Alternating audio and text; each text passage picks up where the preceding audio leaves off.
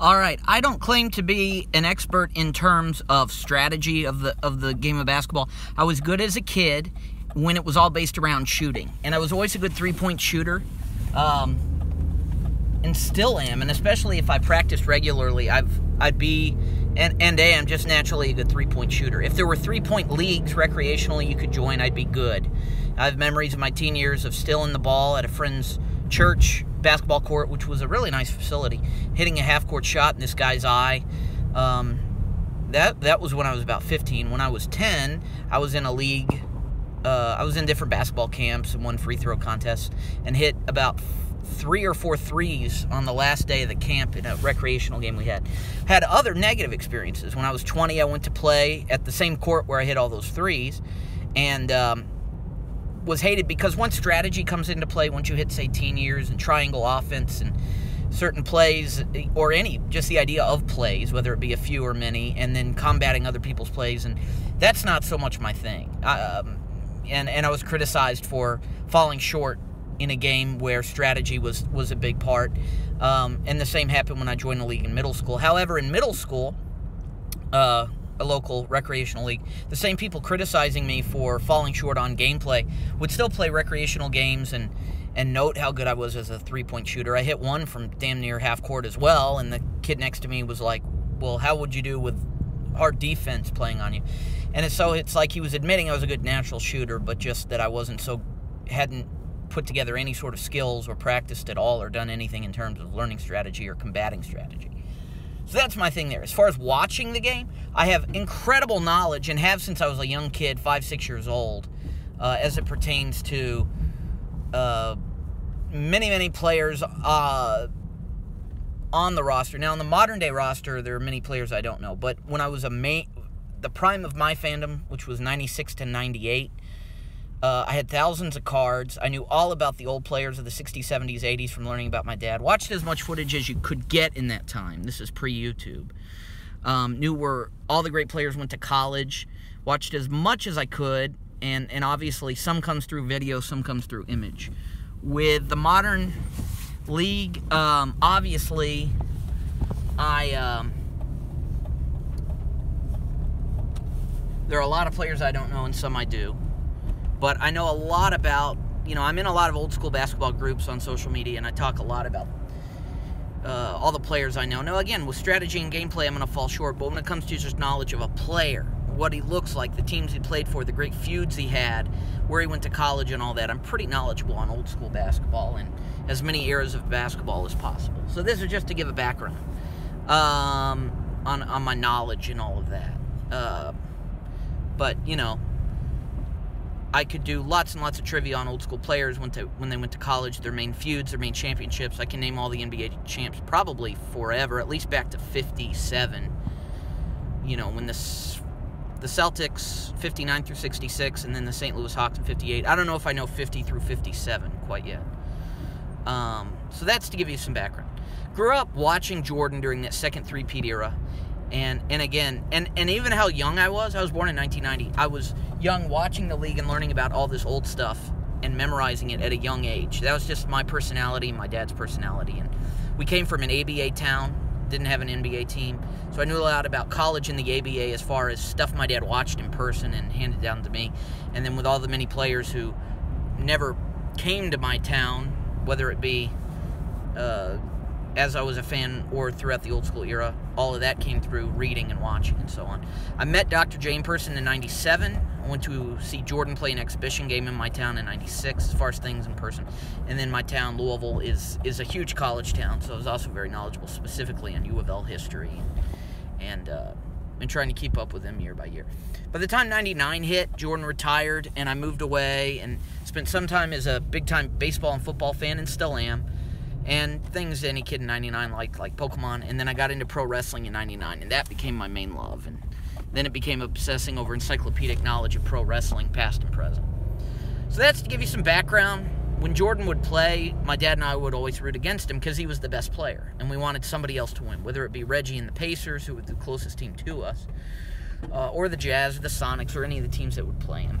Uh, but, you know, big into cards, big into doing anything I could, and then it all kind of changed when he retired. 98 99, because um, he officially announced his retirement in early 99. That was the year of the lockout. So that's to give you some background. Now, LeBron, of course, I've been able to follow his career, but I haven't been a hardcore fan. And, and when I watch a game, I mentioned I don't watch strategy. Obviously, when I'm watching a game, I'm watching strategy, but I'm probably more paying attention to just the basics who's got the ball, who shot and missed or scored, where'd they shoot from, and the basics. I, I don't really know what play they're doing or, or how they're countering, how the uh, other team's countering it, or how they're reversing that play or how they're combating that play or the defensive play they're doing. I'm just more or less a casual fan. And, and a lot of people in America and the world watch it casually. Who's got the ball? Who's shooting? Who's missing or scoring? Who passed it to them? Who are they passing it to? The basics that the mind's eye can watch, kind of like if you were to watch a chess game and watch each move in real time but not think as much about strategy. So I watch it without strategy. So LeBron I followed as not a hardcore fan because he came in in 03 after I was kind of done being a hardcore fan. But of course, I followed his career. I watched the finals he participates in. I pay attention to when he was won the title or not, and the teams he's been on Cleveland, Miami, Cleveland, LA, and of course, three titles 12, 13 in Miami, 16 Cleveland, and 20 in LA. I am prepared to say, and again, I'm no expert, that LeBron is better. I think he's better fundamentally because while he may trail him by two titles, Michael, as far as world titles, he has 10 conference titles. Jordan had six. Jordan never made the finals and lost, which means he never lost, but it also means that he he only had six conference titles because he only had six world titles. So LeBron has four more conference titles. He may tie him for world titles, and I think he's fundamentally better. I think Jordan did more for the game. You know, you go back to the 60s and 70s and even 50s, and you can name your Cousys, your Mikans, your Russells, your Chamberlains, um, your Ervings, and of course Magic and Bird in the 80s. But Jordan made the NBA really, really, really big. That was the attitude era, as a wrestling fan, of the NBA was the entire 90s, in my opinion, 90 through 99. The WWF, it was 96 through 02. I think the hottest was 90 through 99 for the NBA.